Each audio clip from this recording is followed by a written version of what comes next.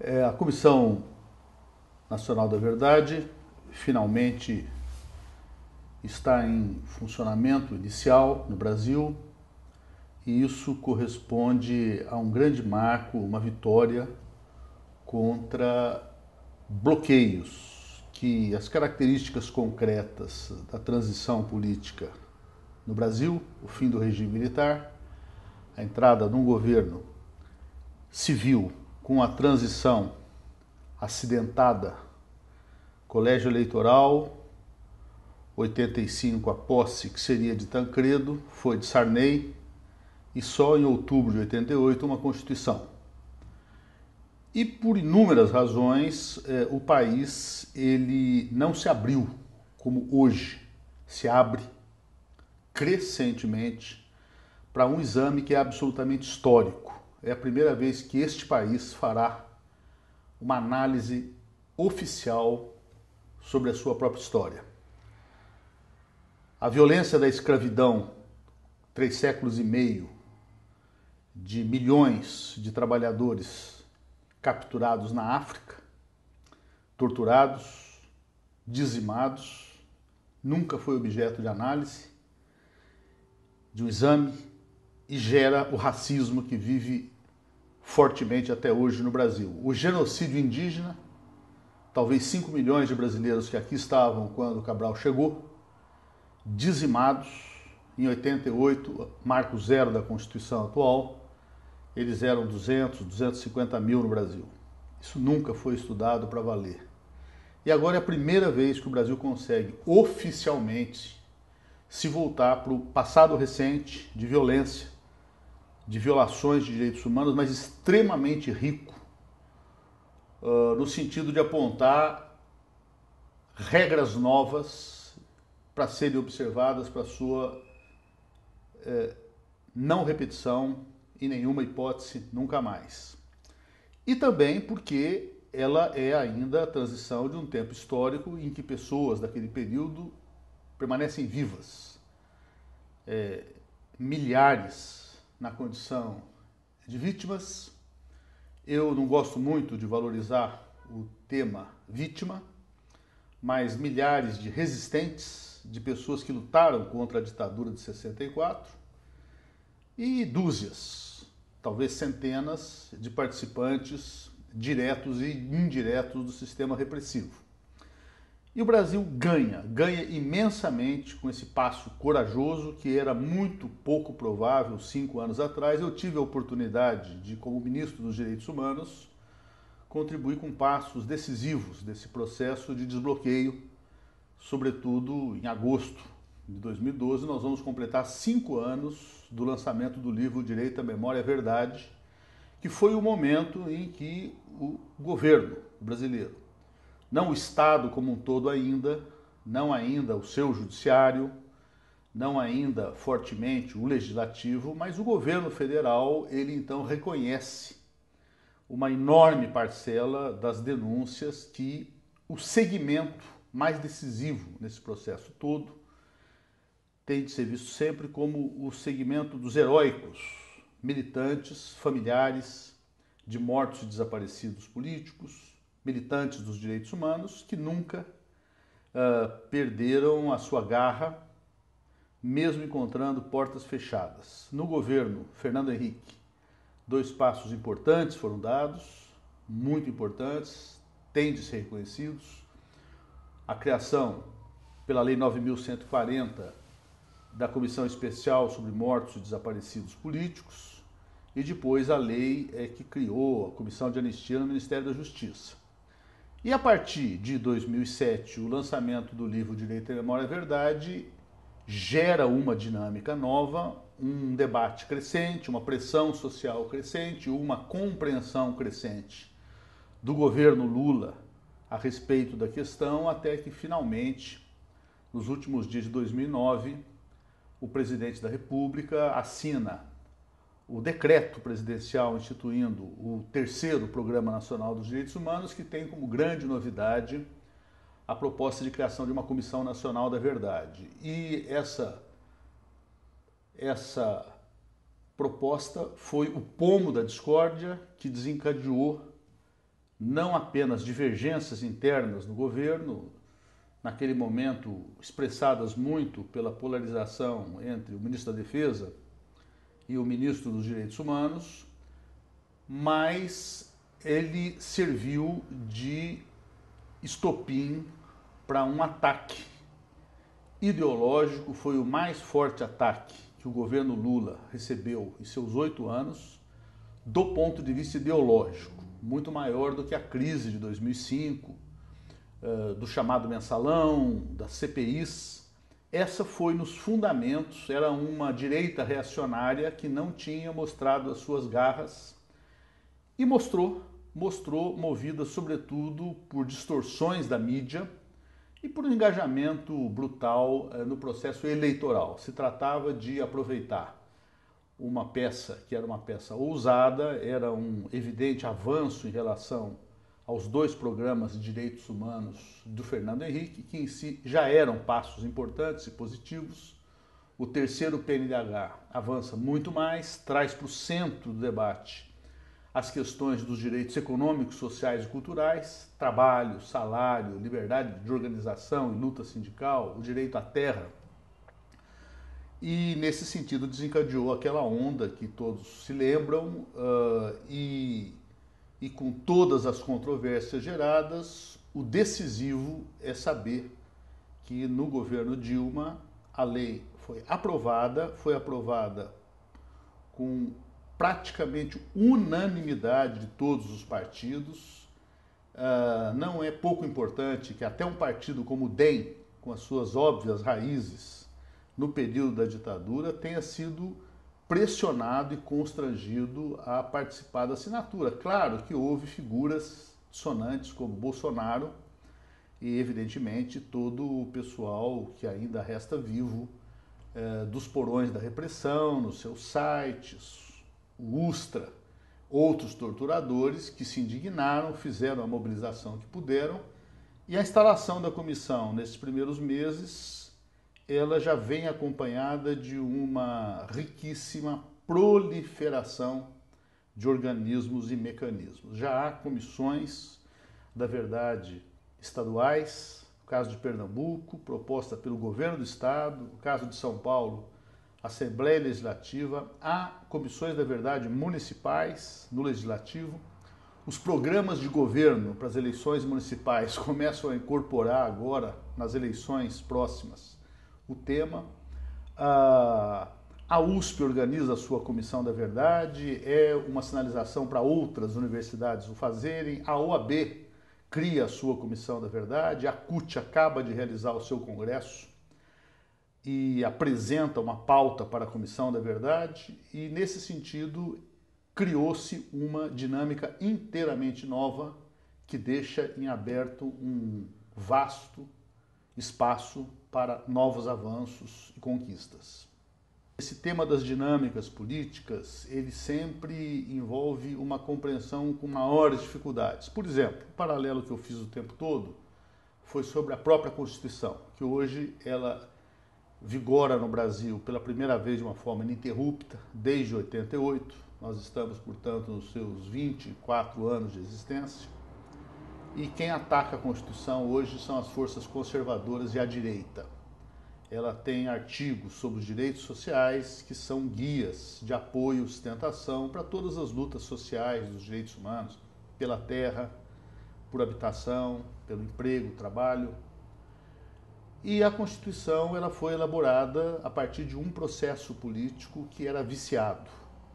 É, não podia ter sido feito por um congresso constituinte em que as pessoas dividiam o seu expediente em de manhã atuarem normalmente como senadores e deputados e à tarde elaborarem a nova Constituição. A verdadeira Assembleia Nacional Constituinte, e foi a luta da esquerda nesse período, era exclusiva, que houvesse como nas redemocratizações verdadeiras esse processo. Houve plenárias populares é, pró-elaboração constitucional, uma pressão muito forte, que levou, por exemplo, o presidente Ulisses Guimarães, no discurso de promulgação, lembrar e homenagear Rubens Paiva, que é um dos desaparecidos políticos, lembrando que a Constituição foi feita com a pressão das diretas já ainda ecoando no ambiente e a luta da sociedade civil era responsável pelos avanços daquela nova Carta Constitucional. Uh, e diz a sociedade civil foi Rubens Paiva, não os seus carrascos. A Comissão da Verdade, mesma coisa. Houve uma incompreensão com os limites que a proposta tinha. E ela tinha limites. Ela nasce de uma discussão arbitrada pelo presidente Lula entre os polos do conflito, vários ministérios de cada lado, mas basicamente defesa e direitos humanos compunham os polos.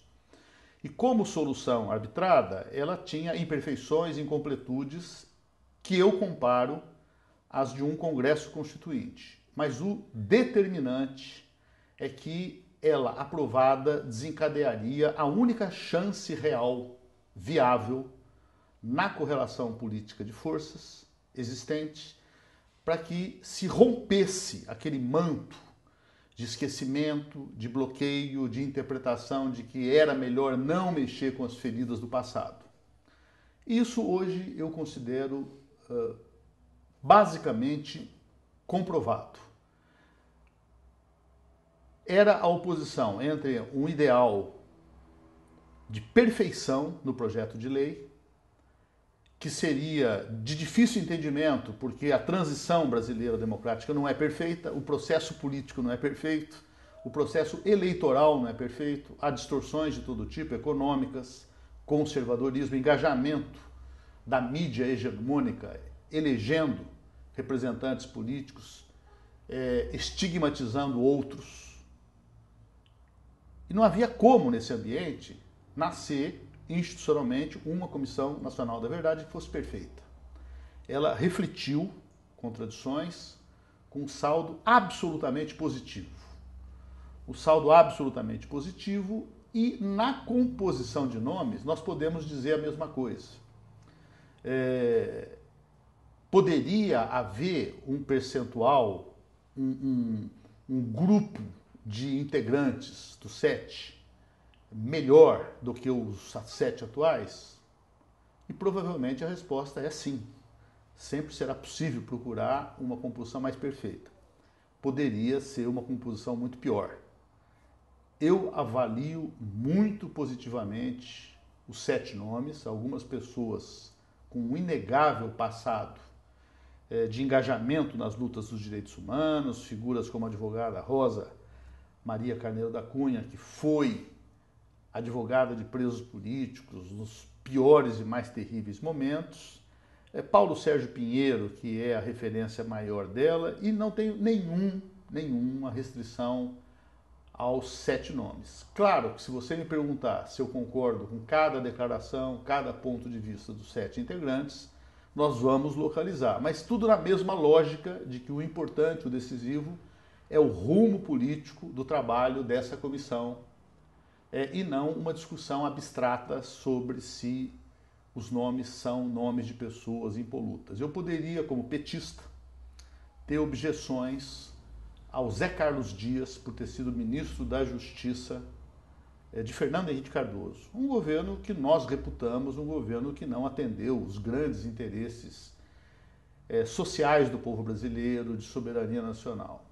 Seria um ponto de vista sectário estreito da minha parte o ato da presidenta Dilma de reunir pela primeira vez na história todos os presidentes da República vivos era demonstração de que nesse tema nós temos de criar uma aliança que busque o mais possível, o máximo possível, de transposição por sobre as divergências, situação, oposição, esquerda, direita. E nesse sentido foi também um marco histórico. É o Estado brasileiro representado por presidentes opostos que estão unidos na compreensão de que o tratamento dado pelo Brasil a esse tema até agora é um tratamento insuficiente, tem de ser levado adiante, e nesse sentido eu ando muito animado com os desdobramentos é, dessas primeiras semanas de trabalho da comissão. Na dinâmica pela conquista da Comissão Nacional da Verdade, é, falta ainda ressaltar o tema de que é a única comissão da verdade das provavelmente 40 já existentes no mundo, algumas criadas pela ONU, algumas por decreto presidencial, é a única do mundo que tem a origem na própria sociedade civil, a partir de um dos marcos do governo Lula, que foi a sua proliferação de conferências nacionais temáticas. Foram 74 conferências. Isso marca um caminho para o futuro. Dificilmente um governo posterior vai acabar com essas conferências. Ele terá de fazer para discutir saúde, educação, a questão da terra, a questão do meio ambiente, da segurança alimentar. E de conferências estaduais, muitas vezes convocadas por governos conservadores, a sociedade civil aprovava a proposta de introduzir no terceiro PNDH 3 a Comissão Nacional da Verdade, que nós acolhemos é, muito prazerosamente é, e sabíamos que ia ser um pomo da discórdia, porque rompia o bloqueio que levava mesmo organizações da sociedade civil, e aqui sem exceções. Você terá das mais importantes organizações da sociedade civil, como a CUT, o MST, movimentos populares sociais, olhando para trás, você verá que durante anos e anos e anos esse tema não foi uma exigência levada adiante com força. Aparecia esporadicamente, eu mesmo, como militante da questão há muitos anos, quantas vezes fui procurar bater a porta para propor alguma coisa e havia uma espécie de desinteresse, esse tema passou, etc. Tal. E junto a isso, é, existia a ideia de que a comissão tem que ser uma punição para punição, juntando direito à memória e à justiça, direito à memória e à verdade com justiça, que subentende punir os criminosos. A primeira dinâmica política disso é que se você quer fazer um movimento para conhecer, porque nós não conhecemos, abrir arquivos, convencer pessoas a falarem, a escreverem livros, como o delegado Cláudio Guerra, como muitos outros estão escrevendo, não era inteligente propor junto à punição. Então, vem aqui, fale tudo que você sabe, porque eu vou te punir. Isso não é da lógica, da racionalidade humana. Se você discute as duas coisas conjuntamente, e eu sabia que essa minha orientação tática, ela não tinha como ser uma orientação tática acatada pelos familiares de mortos desaparecidos, mães, filhos, companheiros, companheiras, que querem justiça e querem justiça com punição. Então, com respeito mútuo, trabalhamos o tema, em que, por orientação do presidente Lula, vamos dizer Comissão Nacional da Memória e da Verdade. E deixa punição para o judiciário. O que de mais a mais é uma questão elementar. Punição é sempre com o judiciário, na Argentina, no Chile, no Uruguai, no Brasil também. Nesse sentido, o que foi aprovado na Conferência Nacional dos Direitos Humanos, a 11ª, era a Comissão Nacional da Verdade e da Justiça. E nós, no decreto presidencial, seguindo essa orientação do presidente, deixamos sem a justiça, compreendendo que a justiça viria quando se criasse uma nova dinâmica no Brasil.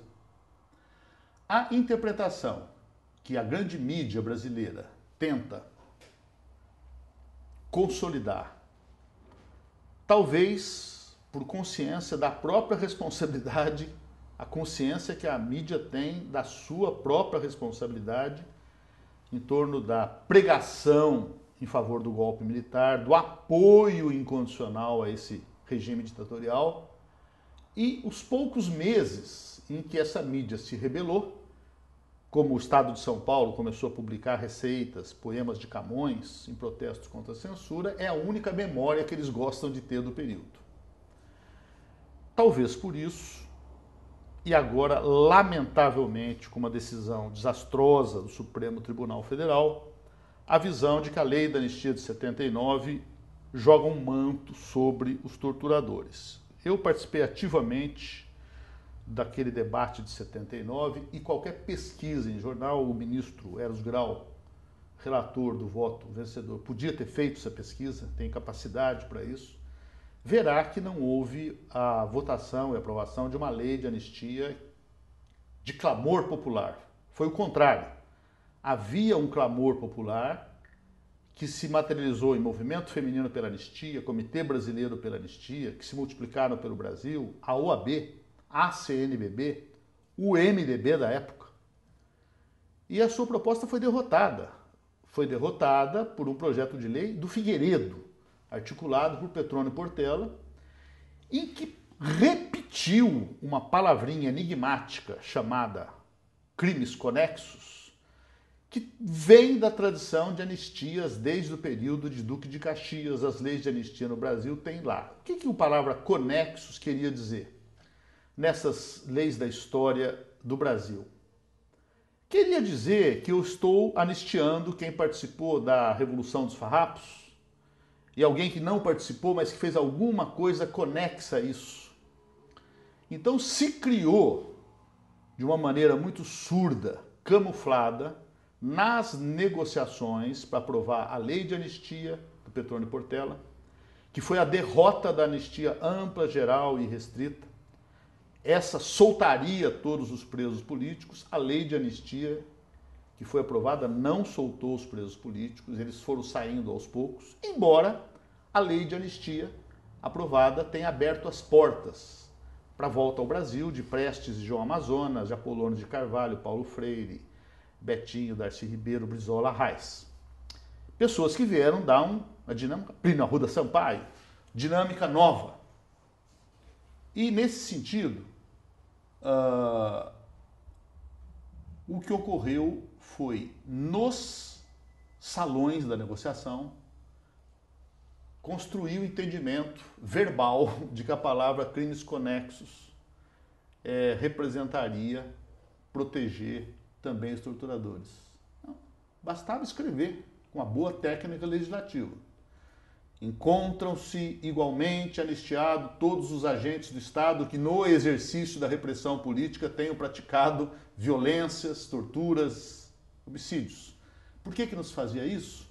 Pelo cinismo da institucionalidade tradicional das elites, que é jamais reconhecer a tortura. Eu vi esse fim de semana uh, na imprensa uma matéria sobre a tortura em Maurício de Nassau, recomendando a prática da tortura contra qualquer é, tentativa de resistência. Naquela época era portuguesa, não era brasileira, contra o domínio holandês lá em Pernambuco. A Inquisição torturou oficialmente, a tortura foi aceita durante muito tempo como norma jurídica válida. No Brasil de 1964 já não era mais. Então o regime o tempo todo mentiu. E os torturadores mentem ainda hoje, não tem um único deles que tenha assumido a dignidade, a hombridade, a honra militar de falar a verdade. É a covardia que não acontece, por exemplo, no militar francês da Argélia, que torturou e reconheceu que houve tortura, dizendo que a tortura foi expediente para evitar o mal maior que seria a, vitória eh, dos argelinos e a expulsão dos franceses. Lá eles criaram até uma teoria de que se eu prendo alguém que sabe que tem uma bomba que vai explodir num cinema onde há mil crianças, eu devo ou não devo torturar a pessoa para salvar a vida de mil crianças, etc. Né? Aqui não. Aqui se dizia que não há presos políticos. Nunca se reconheceu a existência. Muito menos tortura. Às vezes se falava em excessos. Castelo Branco mandou apurar a existência de excessos nos primeiros dias, a prisão de Gregório Bezerra.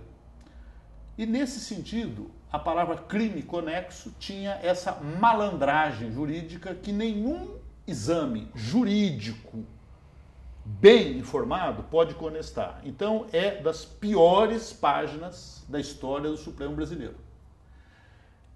E eu lamento muito, porque é no momento em que esse mesmo Supremo aprova decisões corajosas e corretas. A pesquisa em célula-tronco, a questão do reconhecimento dos direitos constitucionais da união civil é, estável entre parceiros do mesmo sexo e trabalha as questões da anencefalia, etc. E muito Raposa Serra do Sol.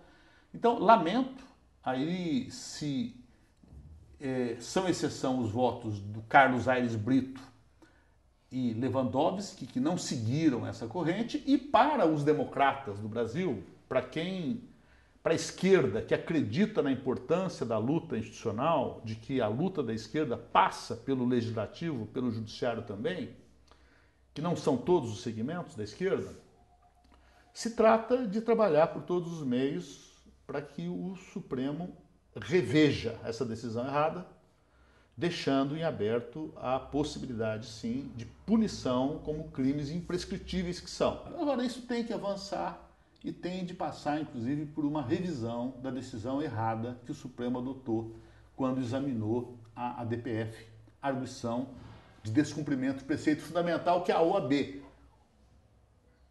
que eu respeitei, apoiei, mas confesso que discordei, porque dizia: está sendo provocado o Supremo a frio. Vamos antes fazer um processo de crescimento da pressão social nas universidades, nas OABs, nas igrejas, nas centrais sindicais, ações judiciais, família Teles, Merlino, Aloysio Palhano, transformar isso em centenas de ações para deixar a consulta ao Supremo para o momento adequado. Lamentei o erro de estratégia, mas em política nós temos time. Esse era o meu time, eu tinha que apoiar e apoiei o tempo todo, fiz o que pude para tentar sensibilizar. Enviamos material para o relator Ezio Grau para ler, para ele estudar. Prometeu que estudaria e fiquei muito decepcionado com o resultado. Não tenho a menor dúvida de que o Supremo Tribunal Federal Brasileiro vai rever essa decisão. A questão é se vai rever dentro de um ano ou dentro de 20. O meu esforço será para que reveja dentro de um ano ou examinando a decisão da OEA sobre o Araguaia, ou novas evidências, como agora já está em curso um estudo importantíssimo e ações do Ministério Público Federal mostrando ao Supremo que o Supremo já entendeu que o desaparecimento não é crime previsto por qualquer lei de anistia, não é protegido por qualquer lei de anistia. Fez isso no julgamento de dois torturadores argentinos que foram deportados.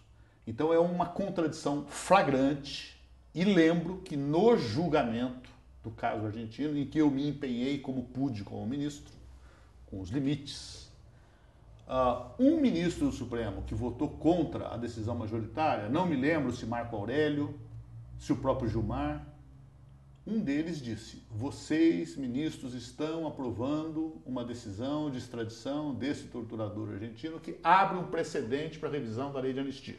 Então, um voto derrotado já alertou-os. Então, agora eles terão de examinar também isso. E o Supremo ele muda a composição o tempo todo. E nessa mudança de concepção, uma sociedade que se democratiza tem que trazer composições cada vez melhores e mesmo quando não há mudança de composição, 10 anos, 20 anos fazem as mudanças gerarem novas interpretações jurídicas. Então toda a dúvida é se o Supremo vai corrigir essa decisão em um ano ou em 20. A nossa luta é para que corrija o mais cedo possível, para o Brasil ganhar tempo e poder avançar com mais firmeza em direção ao seu futuro.